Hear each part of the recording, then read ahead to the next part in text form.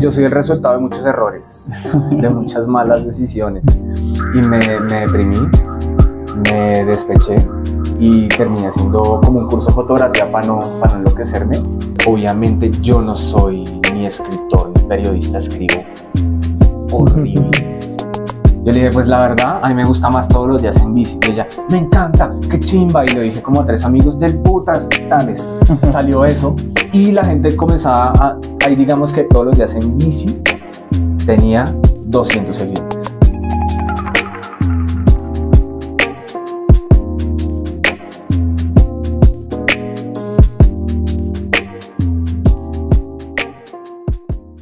Cuando nace el proyecto 360 días, me dice la profesora, me parece el trabajo, me parece el proyecto una chimba, pero me parece que el nombre de tu Instagram es una mierda. Parece horrible. Y yo, ay, sí, parce, pero es que estaba motivado, estaba inspirado ese día. Yo le dije, pues la verdad, a mí me gusta más todos los días en bici. Y ella, me encanta, qué chimba. Y le dije como a tres amigos del putas tales. Salió eso. Y la gente comenzaba a, ahí digamos que todos los días en bici tenía 200 seguidores En Instagram. en Instagram. Y un amigo, José Luis Torralba, eh, el man me dijo, parce, él es, el- la familia de él son los dueños de Torralba Torralba. Sports, TRB. Me dijo, yo quiero que los embajadores de la marca no sean, no sean que gente así como viejas, tetonas, culonas, eh, que se toman fotos en la bicicleta, sino cosita, o sea, gente que realmente motiva, me parece una chimba. Entonces me comenzó a dar ropa desde ahí. Y entonces yo comienzo a contar toda esa historia. Mm, eh, foto número uno, saliendo del trabajo, que chimba atardecer, bicicletas acá y al fondo el atardecer. Día número dos, estoy dando ejemplos porque no los tengo tan claros. Me mojé y estoy, me da piedra mojarme cuando monto en bicicleta. Entonces la profe me decía, pero ¿por qué? Cuenta un poquito más la historia, no, te, no lo dejes en una frase, al menos en un párrafo. Listo, tran, su párrafo. Ah, qué chimba. Y entonces ahí me pusieron ot- otra clase, otra, otra cosa, otra capacitación en el tiempo sobre el uso de redes sociales, que los hashtags de ese Mm. momento servían.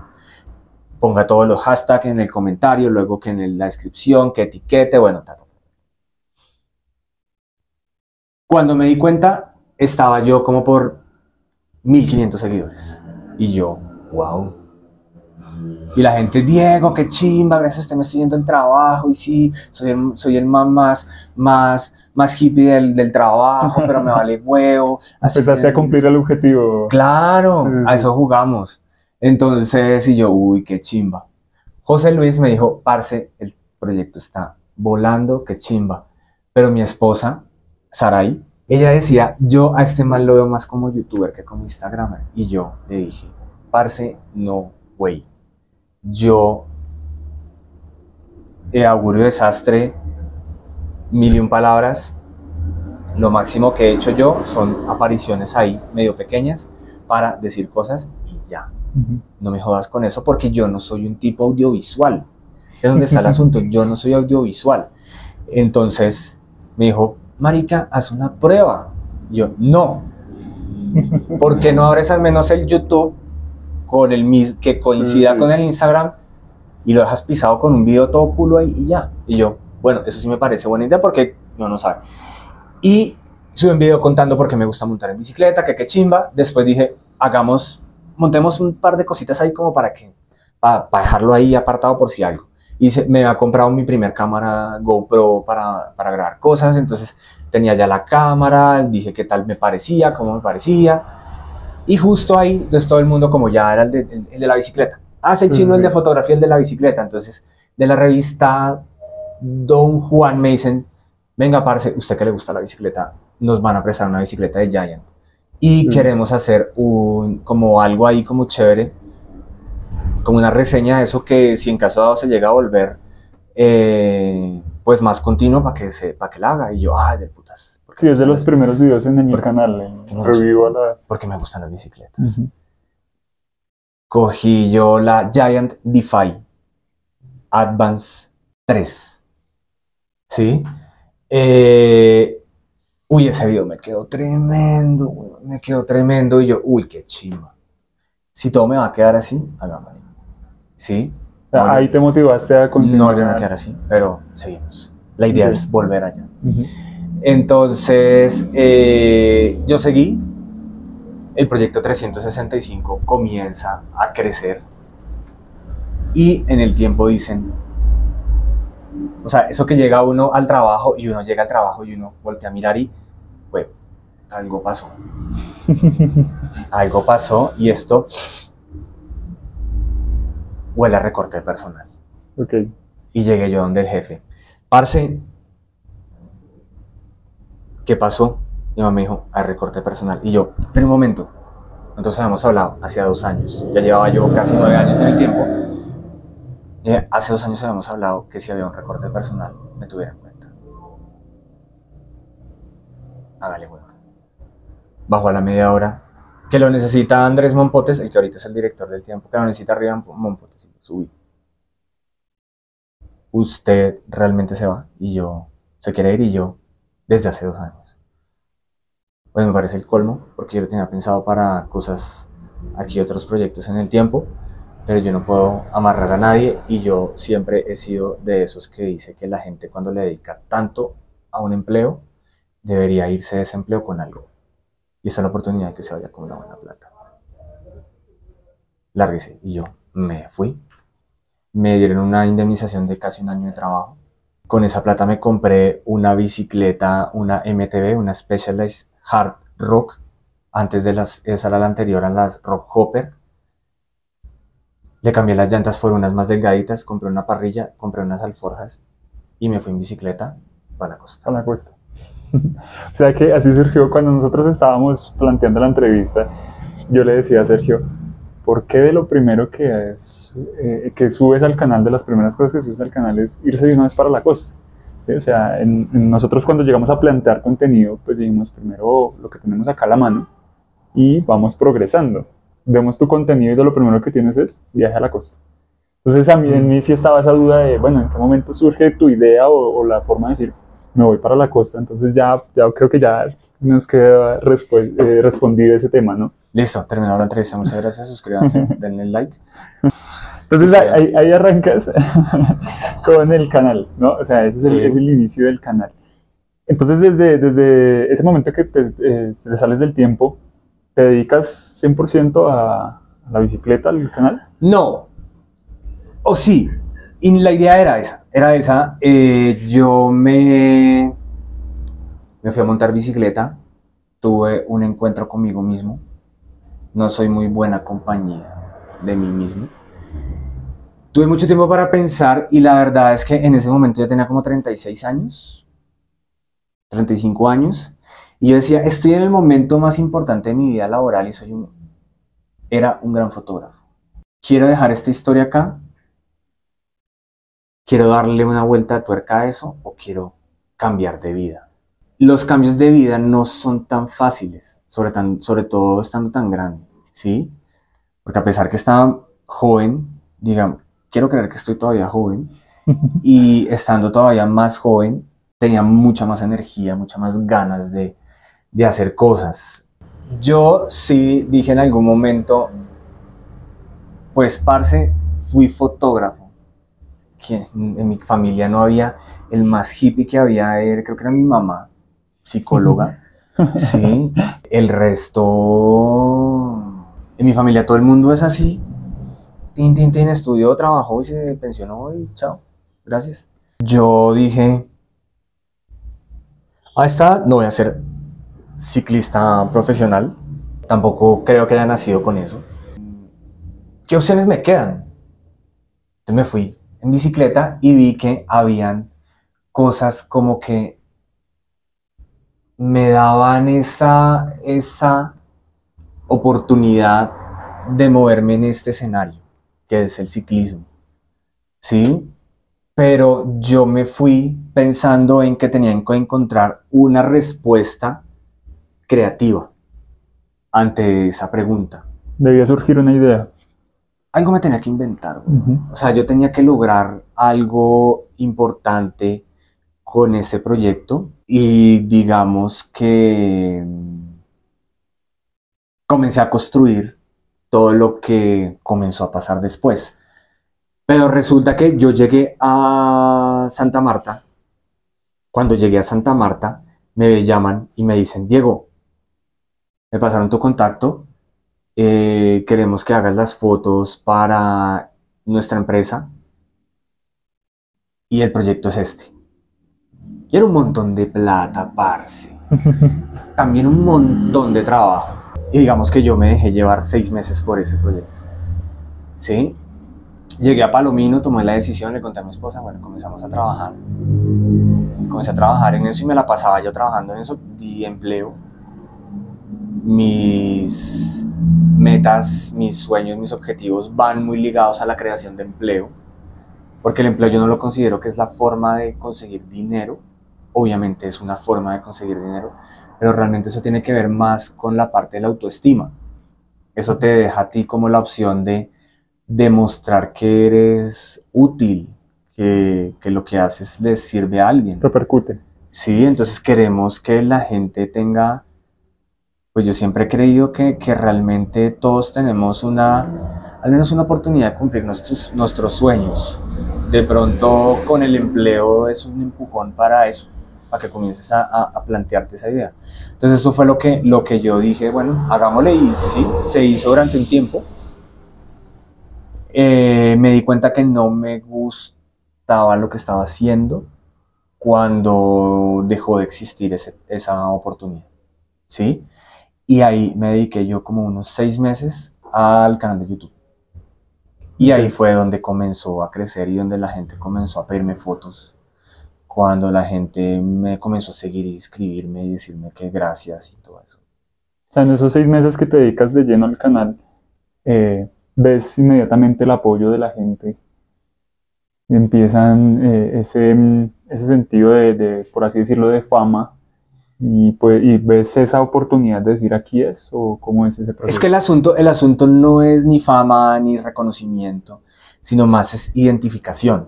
Y es algo muy lógico que después yo me ponía a pensarlo, yo mire, en el fondo, en el subconsciente, eh, soy muy buen estratega. Porque es que realmente quien no está en su trabajo frustrado, con ganas de hacer algo que uh -huh. se ha imaginado que pueda hacer toda su vida. Estoy seguro que casi todos, si no todos. ¿Sí? O sea, no todo el mundo ha, ha sido fotógrafo y quiere dedicarse al ciclismo no sé cuánta gente exista, seguramente más de uno, pero en general mucha gente está enfrente de su escritorio diciendo, uy, qué mierda de vida la que escogí. Eso es curioso porque por lo general eso sucede con los empleos así, estáticos, ¿no? De escritorio, de trabajos monótonos, pero es curioso que tú lo mencionas desde la fotografía, que uno suele pensar del fotógrafo como su pasión, su artista, desde pequeño él ¿sí? veía su carrera encaminada hacia el arte, por así decirlo. Uh -huh. Y entonces uno, uno suele visualizar a las personas, a los fotógrafos, así como su pasión y es lo que anhelan y es lo que no se salen de ahí. Sí. Es, eso tiene que ver mucho con una cosa que se ve en, en matemáticas y en, y en ingeniería, y son realmente los modelos en ese caso son matemáticos los modelos. Uh -huh. todo, todo, cumple un patrón, ¿sí? Yo, por ejemplo, yo tenía un trabajo muy, muy, muy rotativo. Ni siquiera los horarios eran siempre los mismos. Y yo no sabía qué iba a hacer. Pero precisamente eso se volvía una rutina, porque yo sí. salía de la casa a, a la hora que fuera, llegaba al trabajo a hacer lo que saliera, lo subía, lo, subía, lo subía al sistema y me iba para la casa y el fin de semana descansaba. Me botaba a la cama a no hacer nada. Y así repítalo todos los días. Viajé un montón, conocí un montón de países, conocí un montón de gente increíble, un montón de gente horrible, un montón de lugares hermosos, un montón de lugares decepcionantes. Todo eso lo viví, pero digamos que, que eso, eso es lo que me lleva a mí al otro lado, a, a, a, a buscar como qué hacer Realmente nosotros no, no vinimos a, a, ser felices. Nosotros vinimos a buscar ser felices. Okay. Porque tú estás feliz en un momento y después te mamas de eso, weón. ¿Te mamas de eso? sí. O sea, a mí me decían una vez con mi bicicleta, uy, parce, qué chingada bicicleta. Yo con esa bicicleta estaría feliz. Yo les decía, yo pensaba eso. Pero realmente. La tuviste, la gastaste y no, ya. ya quiero otra. Ya quiero otra. ¿Sí? No la necesito, realmente esa bicicleta que tengo a mí me excede. Yo no soy, yo no soy una nave, yo no ando como un loco ni nada, no, yo, esa es mi bicicleta. Pero digamos que, pues uno se va mirándolo de una parte más básica, es que realmente en cualquier bicicleta, o en cualquier moto, o en cualquier carro, o en cualquier trabajo, realmente si uno le mete todo, pues uno podría ser feliz en cualquier cosa. Pero la magia no es llegar a eso, ¿sí? La magia no es llegar arriba a patios. Lo bonito son esos seis kilómetros. Es más, lo bonito es desde que sales de la casa. Desde que te tomas ese jugo de naranja con ese pedazo de pan y arrancas.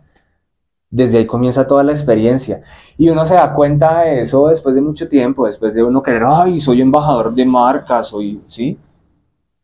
Pues sí, está bien, porque no gastas, ¿sí? Por ejemplo, yo, yo no compro ropa de ciclismo hace años, ¿sí? ¿sí? Y yo no me he gastado mucho dinero en bicicletas. Pero realmente eso no afecta a la, percepción de la experiencia porque nosotros estamos aquí. Es para experimentar, para vivir, para gozar, para, para no sé, si subiste patios en una hora, cambia mucho si lo subes en 15 minutos. En, ese sentido de experiencia, nosotros vimos también que eh, uno de, los puntos claves en los que tú decides dedicarte un poco más de lleno a la bicicleta es la primera salida larga que tú mencionabas, que era Melgarri eh, a Iconoso. Sí, el Alto de la Cruz. ¿Qué, ¿Qué, sucede en esa salida que tú dices, eh, aquí hay un punto importante en mi vida, o, si fue así, para decir, esta salida es importante, es clave? Lo que pasa es que, bueno, eh, esa, yo ya estaba montando patios, yo ya tenía choclos, ya usaba ropa de ciclismo, ya, ya, estaba, ya estaba en camino a ser un ciclista. Ser ciclista no es correr el Tour de Francia, ser ciclista es hasta irte a comprar los huevos en una bicicleta, los huevos no, el pan en una bicicleta, ¿sí? Pero hacerlo rutinariamente. Ya era ciclista, digamos que ya era ciclista. Pero solo hacía patios. Una vez me invitaron al vino, me pareció que eran la mierda, que eran la porra. A nosotros no nos gustaba salir ni por la 13 ni por la 80. Entonces llegó un amigo y me dijo, estábamos de paseo, nos fuimos de paseo con, con otros amigos para Melgar. Para Melgar nos fuimos y nos llamó las bicicletas. Ay, vamos y montamos y yo, yo le dije, toca montar el primer día porque si no, el guayabo no nos va a dejar. ¿Sabes lo que es uno lo que es irse de paseo con los amigos? ¿sí? Aprovechar ese primer día. Sí, claro. Entonces, llegamos, obviamente nos emborrachamos, al otro día no podía pararme, pero ese día dijimos, no, aprovechemos el guayabo. Nos vamos a emborrachar esta noche otra vez, bueno, estamos vueltos mierda. Entonces nos, nos dijimos, bueno, vamos a montar al otro día. Y me dijo, vamos a hacer eh, iconos. Y yo, uy, marica, ¿pasa no queda muy lejos? No, no están lejos. Ah, bueno, ¿y qué tal la subida? Es larguita pero relajada. Y yo, ah, bueno, pues uno no sabe. ¿A cuántos no nos han hecho esa vuelta? Que nos han dicho, no, eso es breve. experto en eso. Eso es breve. Y uno, bueno, hágale. Sí, sí, El Alto de la Cruz es un fuera de categoría. es una boleta, es un horror. Y yo, todo inocente, salí, tan, estaba estrenando uniforme, me fui porque el pollo me regaló uno, entonces íbamos subiendo en la bicicleta. Y me caí porque estaba estrenando todavía los choclos se me dañó un pedal. Me volví a caer, comimos al lado un río, empecé a tomar geles y nos pasaron mil cosas. Entonces digamos como que, ay, es el alto de la cruz, qué chimba, uff. Realmente no. Yo comencé a sentir las cosas más como que, qué planzazo.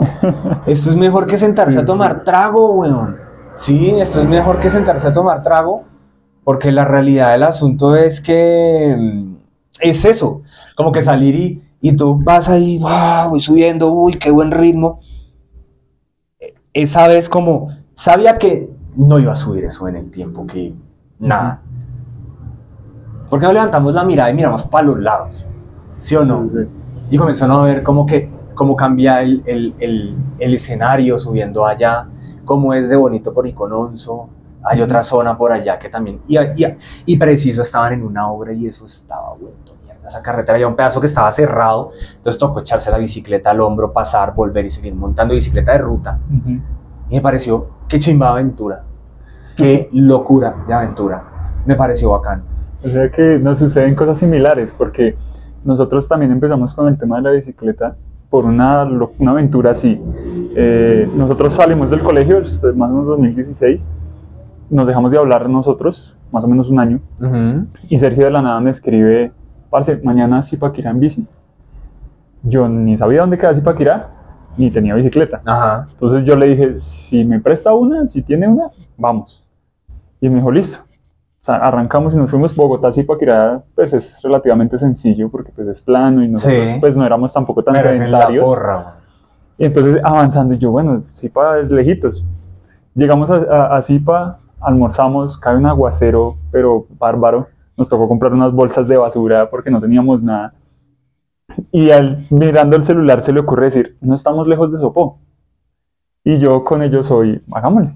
Entonces yo le dije, pues vamos. Nos fuimos para Sopó y estando en Sopó fue, ¿cómo nos devolvemos? Y no estamos lejos de la calera nunca habíamos subido montaña para nada. O sea, ellos, ellos sí se montaban un poquito más de bicicleta, pero en la ciudad. Ujú. Nunca ni patios ni algo así. Y arrancamos pues hacia subir arepas primero, después Ujú. patios. Yo nunca he manejado una bicicleta eh, de cambios, porque pues yo ni siquiera tenía bicicleta. A mí se me enreda un cambio, me tienen que ayudar una persona, ellos siguieron adelante. Eh, ellos me tienen que esperar en un punto, les echan a los perros de una finca, se nos hace Ujú. tardísimo, no teníamos luces porque no sabíamos qué era salir a montar en bicicleta, nos Ajá. tocó caminar casi que llegando a patios. No, eso fue, a pesar de que uno puede decir son muchas malas cosas, de que nos llovió, nos mojamos, eh, se me trabó la bicicleta, tocó caminar como media hora. Ujú. La experiencia fue tal que nosotros dijimos, queremos más de esto. Y ahí fue cuando nosotros también dijimos, esto es, eh, es lo que queremos hacer más seguido y empezamos a salir también a montar más. Se dice que solo te vuelves ciclista hasta, hasta que te encartas con una ruta. Ese momento en que uno dice, ¿y yo en qué estoy? ¿Dónde estoy? Y me falta todo eso. Y se mete uno la mano y uno en el bolsillo y uno dice, "Puta, tengo dos mil pesos ni para el bus. ¿Qué hago? Y ahí es donde se demuestra a uno que, pues, parce, piñón chiquito, que plato chiquito y piñón grande, weón. Y para arriba, ¿qué más? ¿Sí o no? Entonces la, el asunto es que sí hay algo que está mucho en nosotros como ciclistas que sí tiene que ver con, esos en- con esas encartadas. Yo la mayoría de viajes y cosas que he hecho las he hecho un poco muy a ciegas. Por ejemplo, el primer viaje cuando yo subí, iba subiendo el trigo, o sea, yo subí el vino, mi, mi bicicleta con alforjas llenas, parrilla, todo, pesaba 38 kilos. Yo peso 60, más de la mitad de lo que peso yo. Era como llevar, Claro, llevar medio Diego, más de medio Diego en la espalda, ¿sí? Y yo no tenía ni idea qué estaba haciendo. Me subí el vino y comencé a bajar, y bajar, y bajar, y bajar, y bajar. Yo no tenía presupuestado el, el- el trigo. Yo decía, pero el trigo será, ¿cómo te subir otra vez el vino? Dos veces el vino. Pues qué gonorrea. Y cuando llegué, y uno ve que va doble calzada, doble calzada, doble calzada, y ¡puf! Calzada sencilla. Y uno ve ese túnel de, de árboles y no ve esa cantidad de mulas tan Y yo, hagámosle porque que yo no voy a quedar en billeta, que oso. güey". Y comienzo a subir y subir y subir y subir y subir y subir y subir. Y yo digo, esta vaina, ¿cuándo se va a acabar? Yo, no puede ser mucho. Cuando yo llego y levanto, yo escucho al fondo el trrrr, cuando va subiendo un camión que va como en, en- caja y, y yo, no seamos tan hijueputas. Pero es que, o sea, estaba en la en la remierda. Yo, yo, miren, yo les voy a, les voy a, nunca lo he contado. Cogí mi bicicleta, la tiré contra el barranco y me senté a llorar. Porque yo, yo miraba el ciclo computador y yo decía, es que llevo como 50 kilómetros. Mm. Son mil. No he hecho un culo. Ah, y ya no, pesado. ya no puedo, no puedo más. Llego yo a, llego, llego al alto del trigo como diciendo, esto de la bicicleta no es lo mío, yo no quiero más esta mierda, esto no sé qué pasa. Me tomo una Coca-Cola, no sé qué me tomo, arranco yo para Guaduas y me cae el palo de agua más criminal de esta vida. Me escurría agua con sudor y bloqueador y me ardían los ojos y un momento que no podía andar más. No podía andar más. El aguacero yo llegué a Guaduas, encontré el primer hotel que había abierto. ¿Cuánto vale? 40 mil la noche. Y yo me quedo acá y el señor casi que me recoge así. Siga, señor ciclista. Usted está casi muerto. Acuéstese a dormir en mis camas. Y yo llegué allá y yo le dije a este man, no, marica, me pasó esto, esto, esto, esto, esto. Y ese man me dijo, parce, le queda solo una subida que no tiene que ver nada con lo que usted ha subido. Es mucho más relajado y de ahí hágale, parce, que la va a pasar una chimba. Él me dijo, yo iba hasta Puerto Boyacá y está tremendo. Hágale, hágale si no se vuelve en Puerto Boyacá, pero no se quede acá, que mamira. Y yo, uy, buena charla motivacional, señor desconocido. Y me fui, y me fui hasta Puerto Boyacá. Y de Puerto Boyacá seguí, y seguí, y seguí, y seguí, y seguí, y, seguí, y llegué a Palomino. Entonces sí, me encarté y no sabía realmente qué pasaba, qué pasaba todo el camino. Me encontré a César y, tuve unos días de muy buena compañía y digamos que eso fue como el, la antesala, la apertura de, de otra serie de cosas.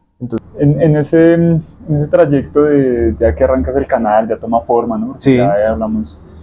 Em, surge un punto ahí, eh, no sé si llamarlo de quiebre, un punto diferencial, no solamente a nivel bicicleta, sino pues a nivel global, que es la pandemia, ¿no? Sí. Entonces ahí hay un parón y nosotros, eh, nosotros más o menos empezamos a la bicicleta por esas fechas. Para nosotros lo que vimos en ese momento fue que en ese momento la bicicleta toma repercusión, ¿sí? porque es, o sea, como cuando uno apenas abre, entra a un mundo, pues uno lo primero que es ver todo el panorama y dijimos, creímos que por la pandemia había sido ocasionada por eso, porque era de los únicos deportes que no podía salir a practicar en ese momento. Eh, ¿Lo vives de la misma manera o, dices, no, eh, realmente la bicicleta ya venía? No, la bicicleta, la, el boom en Colombia comienza con la tanda de Nairo, Rigo, Esteban Chávez, esos que comienzan a ganar. Aparece Nairo y vuelve, vuelvo a, tomar una expresión que yo dije y es la, la identificación que nosotros decimos es que nosotros somos unos indios patirrajados en comparación de todos estos europeos, de toda la gente, pero yo también puedo, weón. ¿Sí? Nairo, que es un man ahí que, que, que, que no le pregunta cómo le fue en la etapa, le dice muy bien. ¿Sí? Que no tiene carisma, pero nosotros lo amamos y lo queremos porque el man es esa representación de nosotros que decimos que soy un iguazo y aún así puedo llegar a donde se me dé la regalada gana. ¿Sí? Entonces eso como que dio repercusión y viene la pandemia y se juntó una una tormenta perfecta ahí como para decir que tenemos que una nueva pues una nueva cosa en el, en el horizonte que es la bicicleta que nos permitía salir a montar mientras el aire era tóxico. ¿Se acuerdan que uno no podía respirar el aire de por ahí porque se moría? Lo que pasa es que la pandemia también fue un impulso. Es como, no sé si han dado cuenta que hay canales de YouTube, Instagram, TikTok, que suben como palma, pero caen como coco. Y eso le pasó a la bicicleta. Subió, digamos que ayudó con un poco más de retención. Se dice que el, el 70% de la gente que compra una bicicleta para hacer deporte no la sigue usando. Hoy se habla que es el 50%. Pero estamos volviendo otra vez a, las, a, las, a los números de antes. Uy, en esa, en esa temporada yo no podía llegar a patios sin tapabocas porque me descubrían y me jodían y me llamaban y me hablaban y me pedían fotos. Y digamos que yo nunca he sido, a mí cuando me piden una foto, me... Primero obviamente me siento muy halagado porque porque saber que el trabajo de uno se ve en algo de alguien positivo, pero yo no soy, no me considero que sea famoso, no, y me fa no, man, o sea, somos un moco en una pared muy blanca, pero sí me siento muy incómodo y no sé qué decirle a la gente, como, Diego, qué chimbo, gracias a usted tal cosa, y yo, la buena, la foto, listo. Sí, no soy tan, tan, tan, tan, no, me, no sé, no me, no me desenvuelvo tanto con eso. Es como un airo. Muy bien, ya. Pero en ese momento yo hablo mucha mierda, yo hablo mucha carreta, me gusta hablar, pero y me, eso me... Y hay gente que, venga, venga, ¿será que le puede mandar un saludo a mi papá? Venga, gra-". y yo, ay, parce, pero ese man que va a querer ver, o sea, va a haber un día en que veas las fotos grabadas y vas a decir, ¿quién es este flaco, weón? Sí, entonces, pues bueno, digamos que sí me gusta la sensación de dejarle a la gente como eso de de que los haya apoyado, que, ah, que yo antes yo era gordo y ahora ya no, estoy, no me estoy muriendo por, por esterol. Tremendo. Pero... Uy, es que en esa época de la pandemia a mí sí, patios, era bien, bien loco el asunto. Sí, en, en ese momento que precisamente despega todo, eh, todo el tema de la bicicleta gracias a la pandemia, el, el tema de la tienda donde nos encontramos, la tienda Patagón, eh, ¿surge la idea en ese momento o es algo que tú ya venías meditando desde antes? ¿Era una meta quizás a largo plazo o dijiste, es el momento, lo tengo que aprovechar y, y, y cómo empiezo a gestionar este asunto? Yo en un momento creé mi página que era todos los días en bici.com. Yo la creé y ahí yo tenía una, yo vendía cosas de Torralba, ¿sí? Que era más una especie de dropshipping que un e-commerce o que algo así, sino era un, era un dropshipping y que me decían, no, que quiero esta, cam-". tenía todos los productos de Torralba y, ah, que quiero este, ah, esta, esta chaqueta. Y yo llamaba, venga, hágame un favor que una chaqueta que me la mande a lugar, listo. Y eso, eso era todo. Mi mamá tiene una oficina allá en Galerías, al lado del centro comercial, en un edificio donde la mayoría de tiendas de abajo son sex shops. Y estaba desocupada. Y yo le dije a mi mamá, "Pres- dame la oficina y yo me pongo a vender mis chucherías. Bueno, hazle. Y los tres pesos que tenía me los gasté en una bolsa así de grande llena de cosas de Torralba. Y comencé. Y entonces la gente, ay Diego, ¿y usted no vende medias? Y yo, busquemos medias, medias, medias, medias. Ay, tal, listo, comencé a comprarme. ven. Diego, ¿usted no vende gafas? Y yo, busquemos gafas. Y ya tenía gafas. Y así. Aquí realmente la tienda Patacón es un lugar en los que vendemos las cosas que yo le recomiendo a la gente. Yo no te vendo aquí nada que yo no usaría. La Sí. ventaja también de ser ciclista. Claro, Entonces, eh, tienes Es que está esa, loco. esa- esa- ese contacto directo con el cliente porque Sí. tú mismo consumes. sí, yo soy obsesivo con estas cosas, entonces, si yo te digo que esa banana es buena, hazme caso, güey. No te quemes la cola, ¿sí? Si tú estás buscando un ciclocomputador que no sea costoso, pero que te dé la batería, que se vea bonito en la bicicleta, hazme caso, ¿sí? Yo te tengo aquí una opción súper chévere. Y apoyas el canal, ahorras una moneda porque tenemos muy buenos precios. Y, y se volvió eso. Que la gente me pregunta, Diego, es que eh, prefiero esta badana, que estoy entre esta badana y esta badana. Y yo, no gastes la plata en esa porquería. Y mira esto. Así sea que yo no lo venda. ¿Sí? Entonces, eh, en bicicletas, todo eso. Entonces, como que yo dije, ¿por qué no lo hago yo? Realmente, realmente lo hago yo. Tengo eso acá. Entonces, ahí fue donde llegó la tienda. Ya empiezo mi cuarto año dentro de poco en esta vaina y sigo aquí sentado. Eh, este es el intento de tratar de vivir de esto. Eh, lo disfruto cada día. No ha crecido como quisiera. El canal no ha crecido como quisiera porque porque yo no estoy para subirme a redes sociales a hacer el oso. A pesar de que siempre lo hago, pero yo no. Yo no quiero salir su- en las Hacer redes sociales diciendo, tendencia. diciendo que hago lo que hacen los otros, porque no, Mm. porque también me doy cuenta que no lo hacen ellos. Me no, no, pues no soy una chica gener- de, de buen ver, como dirían los cuchos. Eh, entonces no puedo subir videos moviendo, bailando con la pantaloneta XXS y, y no, no tengo, no salí así. Entonces no, no puedo vender y no puedo mover mis, mis redes, mi, mis redes, mi contenido, lo que yo quiero decirles, salvo la honestidad con la que yo pueda hacer las cosas. ¿Tienes algún tipo de plan de lo que se viene a continuación referente al tema de las redes? ¿O, o estás en este momento ¿En qué momento se encuentra hoy el canal de todos los días en bici y hacia dónde lo quieres apuntar? Lo que pasa es que las redes para mí no son, no son el, el fin, ¿sí? Tener seguidores. Las redes son un vehículo para contar, ¿sí? Para mostrar. Que yo tenga planes con las redes, no, no, no tengo planes. Eh, que tenga planes con mis contenidos, claro que sí. Eso es lo que pienso todos los días. Realmente Em, en un momento pensé que mi, actividad principal era, era la tienda, porque la tienda descubrí eso de emprendedor que siempre he tenido, pero lo descubrí aquí y, y eso me gusta bastante, me gusta mucho.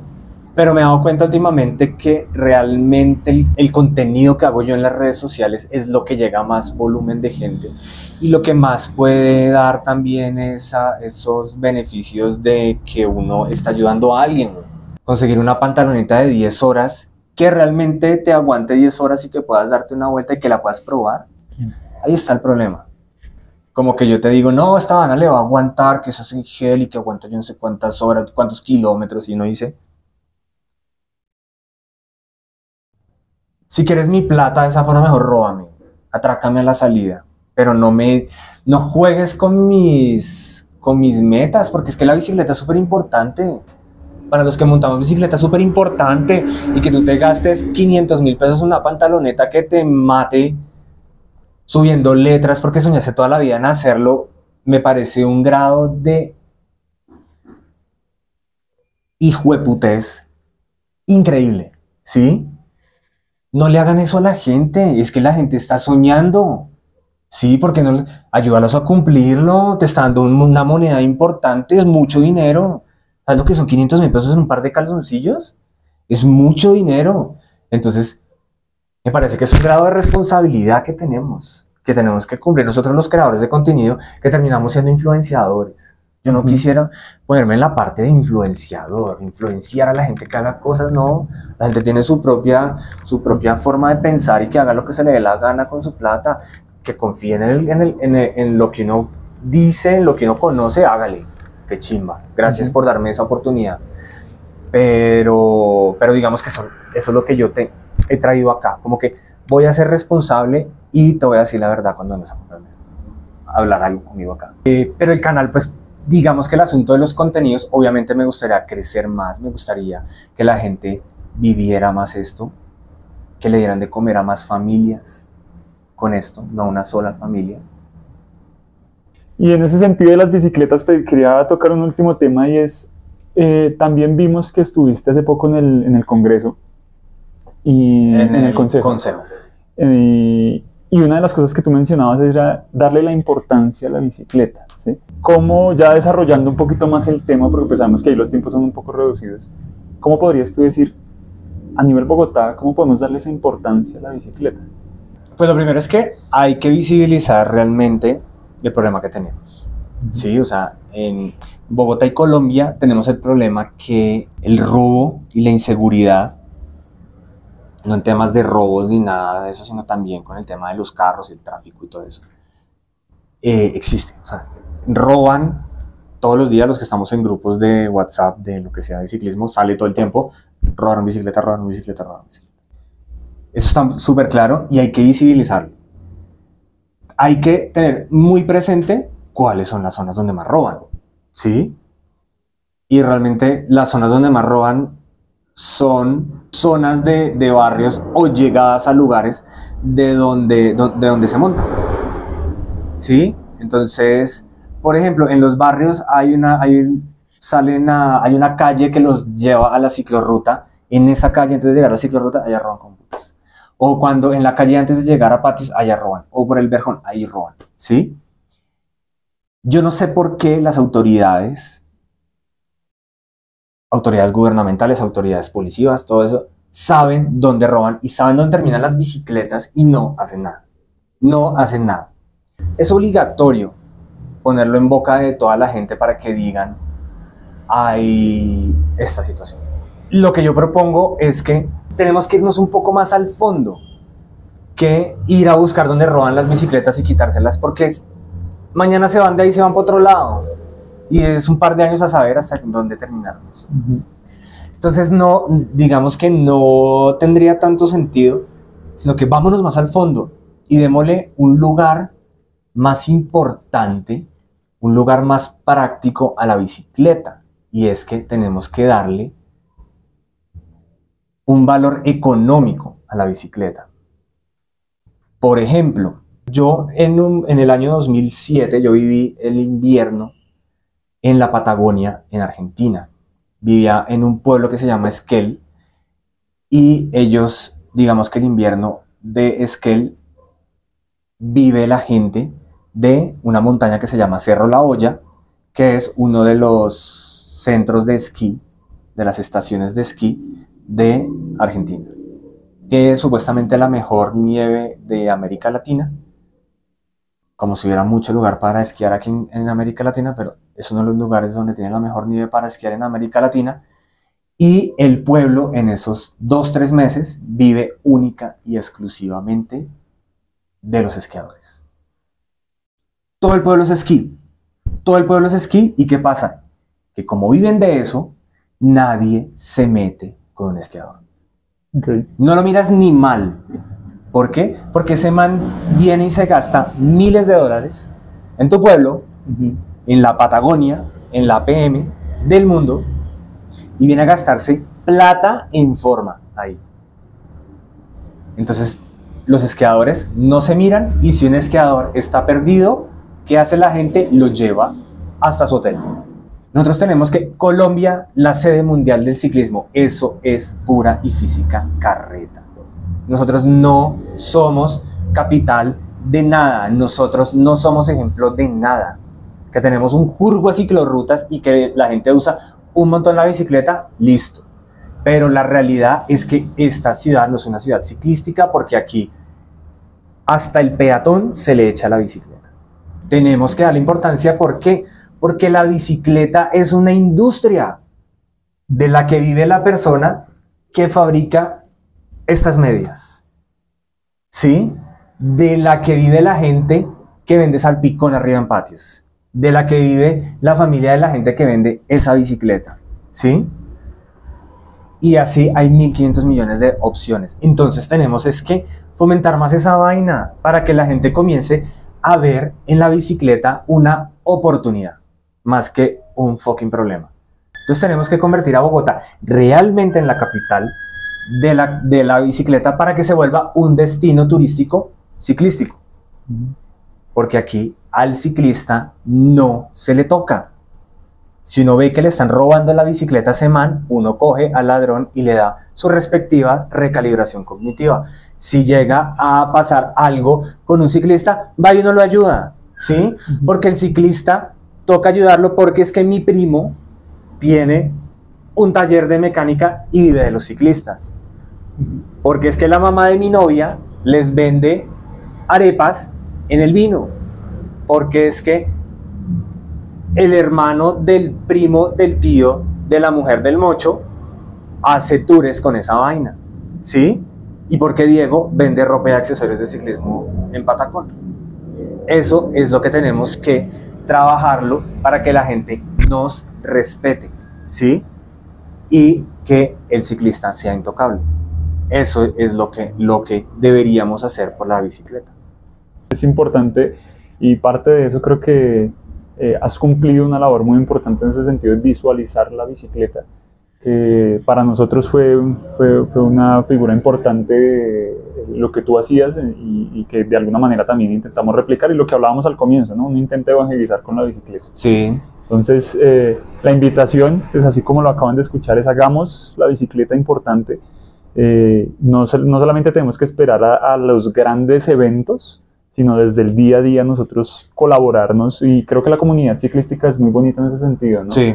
de siempre estamos dispuestos, a, nos- a nosotros mismos nos han sacado de apuros muchas personas en bicicletas, Sí, que van por ahí y lo ven a uno y sí. entonces hagamos que eso sea más visible y sigamos, ahí sí como tu canal, sigamos dándole todos los días en bici. Eso, con toda. Diego, No, muchas... Gracias, gracias por invitarme. Gracias por invitarme. Tengo que seguir haciendo cosas de adulto.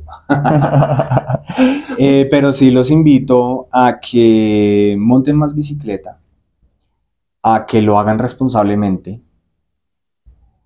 a que no sean mamones con la gente para que monte bicicleta. Que tiene que montar, que es una chimba, que es una chimba, no.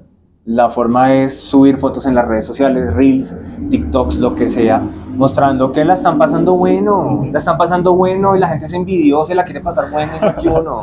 Los invito a que hagan eso, los invito a que sí, sean más solidarios con la gente en la carretera, a que sean más diversos, más abiertos con el tema de, por ejemplo, de la compra de, de sus cosas. No las compren siempre en el mismo lugar, salvo que se entienda patacón. Lo digo porque me preocupa que la gente está usando ahora en Colombia la misma marca de ropa que no es buena, ¿sí? Mucha gente estamos intentando vivir de esto y que lo estamos haciendo de corazón. Somos muchos, muchos negocios de ciclismo aquí en Colombia son joyas escondidas. Dense la oportunidad de conocerlos. eh, denle la oportunidad a la gente de, de- de- de atenderlos. Eh, sé que el gremio del ciclismo es súper jodido y atienden súper mal, pero hay lugares donde sí les van a dar un lugar y que los van a atender y los van a consentir. La bicicleta no le da un entorno muy bacano, la gente es súper bacana, no es, no es como otros gremios, que hay gremios que donde, uy, llegó con una moto Ducati, uy, esos de Ducati son unas... Aquí llegó un amigo con una bicicleta tremenda y uno, qué chimba, parce, lo felicito. Y si un amigo uno le ganó subiendo, uno le dice, marica, estás volando, qué chimba. No como que, uy, ese man, qué mamera anda más y lo bueno, no, marica, aquí estamos para pasarla bueno todos. Sí. Y eso es- debería ser en la vida, que es muy jodido, ¿no? Pero sí los invito a que le den like a esta entrevista. ¿En serio? Eh, que se suscriban a este canal, que se peguen una paseadita por mi canal, que hay un par de cositas que de pronto les puede servir, que me sigan en las redes, sabrán cómo buscarme, y que me visiten aquí en la tienda Patacón, que me den la oportunidad de hablar carreta con ustedes, que eso es a lo que vengo yo todos los días a hablar carreta, que de pronto compren ropa Sweet Poison, que ayudamos a mujeres cabeza de familia, emprendimientos pequeños, y es la ropa que estamos haciendo aquí, la marca propia de todos los días en bici, de tienda Patacón y de otros emprendimientos. Entonces que se peguen una pasada porque la idea acá es que nos ayudemos entre todos y que vivamos este mundo, esta vida de una forma diferente. No sé si mejor, pero diferente. Muchas gracias, Diego. ¿Listo? Pues muchachos, eso fue todo por esta entrevista, espero les haya gustado y procuraremos eh, buscar un poco más de visualización, volver a, ese, a, ese, a esos orígenes nuestros, que era la bicicleta, que sí reconocemos la tenemos un poquito de lado, pero que ha surgido otra vez ese deseo de, de otra vez generar contenido y nosotros mismos salir referente a la bicicleta. Entonces este fue, eh, no, esta vez no es un pueblo más, sino esta vez es una entrevista más. Entonces nos vemos en la próxima. Muchas gracias, Diego. Bien. ¿Listo? ¿Listo el pollo? ¿Quién va a editar esto?